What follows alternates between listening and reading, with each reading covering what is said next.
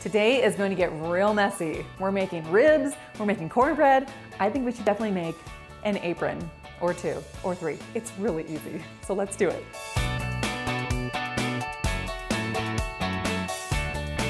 So Matt, what are we making? Oh, we're gonna make my favorite, baby back ribs and cornbread. Oh my gosh, cornbread is my favorite too. Oh, how do you not love cornbread? I know. So here are our ingredients. So we have baby back ribs and my favorite rub, and we'll be making that in our 7-in-1 multi-oven. Okay. Then we have milk, flour, cornmeal, sugar, salt, baking powder, and egg. And we're making that in the bread maker. All in the bread maker. Amazing. Yep. So I take my favorite rub, and when I do baby back ribs, I like to make sure I season both sides. So we're gonna Okay. heavily season with your favorite rub.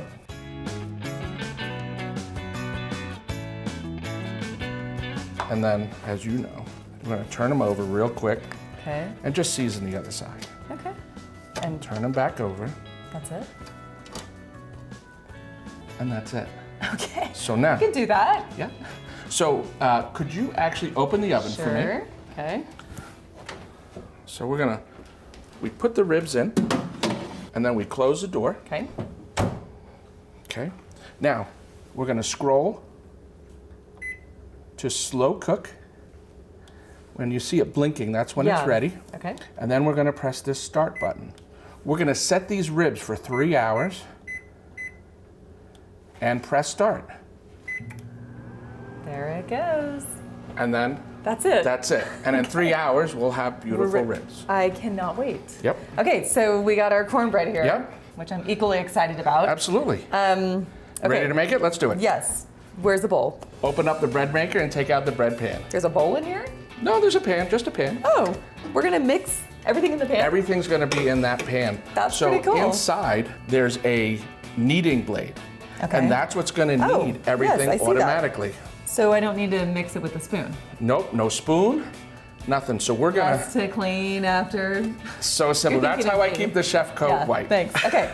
So basically, I'm just gonna dump everything in here. Yep, we're gonna start first with our liquids first. So Okay. start with your milk and your egg. Okay, here we go. I kind of like when everything is already measured out for me too. Oh, It's it's great. extra fast. my mom makes cornbread often, and now Oh, yeah? I make cornbread often. It's like one of my family's favorite things. So Am I close to your recipe? Not that I want to give out the secret recipe, but mine has a lot of sugar. That is Oh, the secret okay. ingredient. Yep, yep. So I think they're similar. okay, so so now uh, pick it up by the handle, place it in the oven. okay, Okay, close the door. yeah, And then you just need to scroll to where it says cake okay, okay, and then just press start. okay. Okay. And there you go. That's it. That's it. Okay. Well, I have a project in mind that I think you're really gonna like. So right.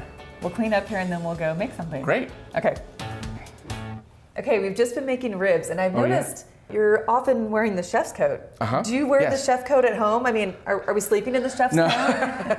Well, I know it, it's definitely not my uh, bedtime attire. Oh, okay. But in the kitchen, I do wear an apron. But I got to tell you, I need a new one. Well, perfect. I think I think it's gonna be great. you came to the right place. right. Okay, here's what you need for this project fabric for your apron, fabric for your pocket, and of course, a sewing machine and an iron.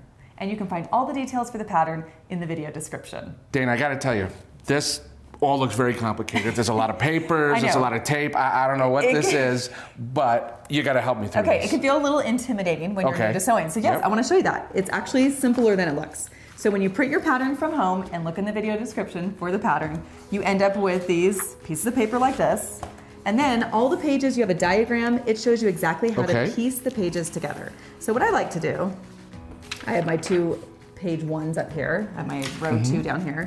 I'm gonna take scissors and I would cut right along this dotted line and then I would line up these two pages, see how the pattern is coming together. Mm-hmm. I take tape, I tape all my pages together for one row, the next row, piece it all together, kind of like making a quilt. Yep. And then you just cut out your giant pattern piece. Oh, so wow. it comes together really easily. And then what I like to do, I do this often with patterns that I use, well, regularly, often. I like to make aprons. I like to transfer that, trace it onto cardstock because I find that it's just a little easier for me to cut out of cardstock than Oh, the neat. paper. And then I write all my markings on here, like I need to cut so much of this thing or that thing, and this should be cut on the fold. So it makes it really easy for me. It's almost like I don't need to reference my pattern because I have everything there. So that's what I have done for us to cut Right, out your apron. We're I'm making excited. This for you. Yeah, I can't wait. I can't wait. So we've got our fabric here. Did I pick a good? Oh, I select love it. Yeah, I love good? the gingham. It's great. You seem like a gingham kind of guy. I am. And this orangey red is totally one of my favorite colors, to be honest. Okay, so let's open our fabric. And as our pattern said, you want to cut this on the fold.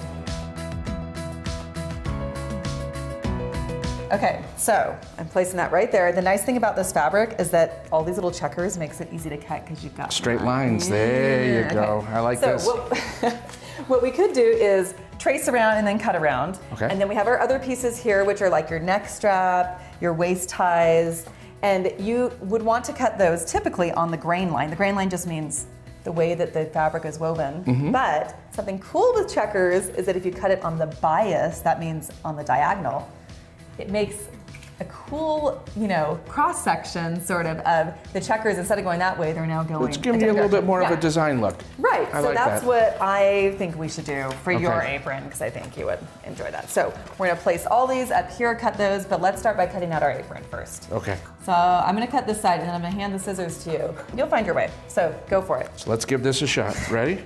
Yes. Stand clear. Standing by, standing clear. Yes, this can be a tricky part going around the curve. So Yeah, I got the tough part here. I know, sorry. I want you to grow and you're learning, you know, very growing good. your sewing skills.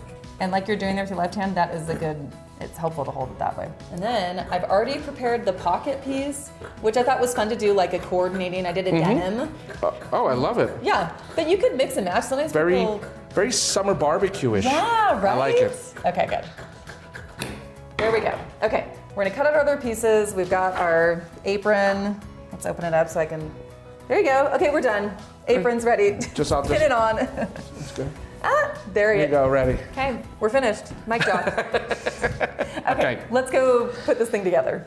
You did a great job cutting this out. Thank you, thank you, Okay, we you. are ready to start assembling. And I want to show you, this is that neck strap. See how I said we cut it on the bias compared to on the grain? Oh, I like See that. how different That's that looks? neat. Yeah, no, it gets- adds that little bit. Yeah, with the same fabric, you get like an added design feature. Mm-hmm. So I like that. So I'm gonna have you press a few things for me. There's a lot of Sure. pressing involved. Okay. You're gonna start by pressing this one under a half of an inch, which again with the checkers, guess what? That's exactly a half of an inch. Oh, if you just do it in the line. So press that under, and then you're gonna press the neck strap for me, a quarter inch on both sides. Okay. And then we'll fold it in half.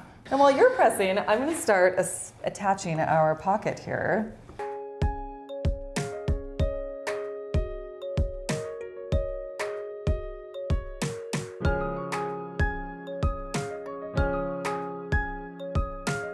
Good news for you. Guess what, Matt? I already sewed one for you. Oh, thank Okay. goodness. But I did pretty good. You I did think. do Yeah, good. yeah, yeah. Okay. But you I can- love that it's already You done. can put that aside. and I'm going to attach this right here. And come in about an inch, like this. And you want to make sure that nothing is twisted in there. Okay. This is called a facing, that other thing that you pressed for me. Mm-hmm. We're gonna put that right there. We're gonna sew that around and then we're gonna sew our sides. So let's go to our machine. Cool. Let's get the machine. Okay.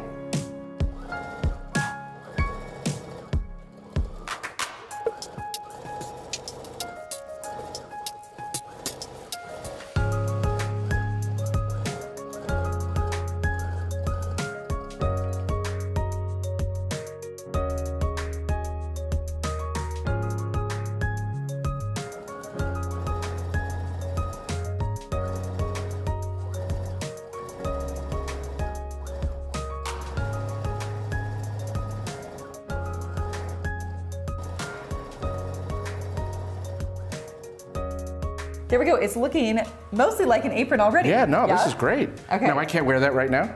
I mean, you could, but let's polish it off a little. Okay, yeah? excellent. Okay, we are gonna press these curved edges under which they fold really nicely because they are cut on that bias curve. That's, you know, a term I keep Yeah, no, absolutely.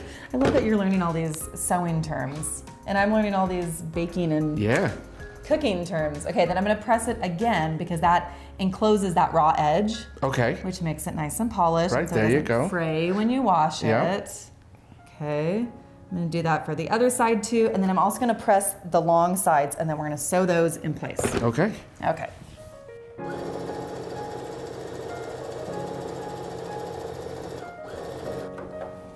All I have to do now is hem the bottom, press and press, and then we're gonna attach our little our waist ties. Oh, awesome. Done. I can't believe how quick I mean, almost is. done. I know. See, it felt overwhelming at first, and Yeah. then it's oh, like, it's so easy. yeah. These make awesome gifts. I mean, you could make, you know, birthday gifts for everyone you know. That would be awesome coming from a chef. Right? Yeah, attach your. I like that recipe. idea. I'm always thinking of gift ideas because I think people really love getting homemade, handmade things, just like they like a handmade loaf of bread or. Right. You could you could take some spices, wrap them up in this as in a basket or something like that. Right, like some rub spices, Yeah, like absolutely. or something you put on dry rub. Yeah. for the ribs, or even maybe a jar with a cornbread recipe connected to it. So all they have to do is maybe add the water or something.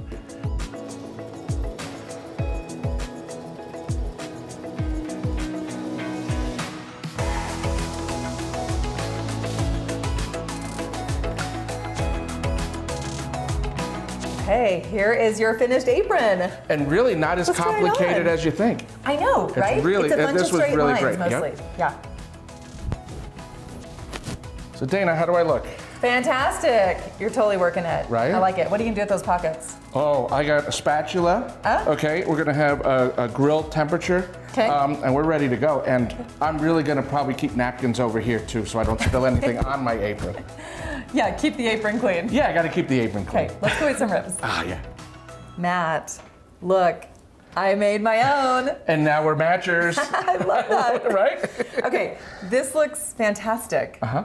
Wait until you try it. Yeah. Okay, Are you gonna give it a um, shot? Yeah, I'm gonna use a fork. Okay, I'm gonna use my hands. Well, Good thing I you made an you an apron. apron. okay, here we go. Let's see. Oh, it's really soft. Oh, whoops. There I'll grab that Go one. that one. Mmm, that is delicious. Love Yeah, it. It really just came right off the bone. nice and tender. Yes. Okay, let me try this cornbread. Because I gotta have that to go along. Right? Really good. Yeah. Yes. Okay. Mm, I am going to make this for my family for dinner. That's awesome. And I'm gonna wear this apron at my next cookout. Perfect. All right.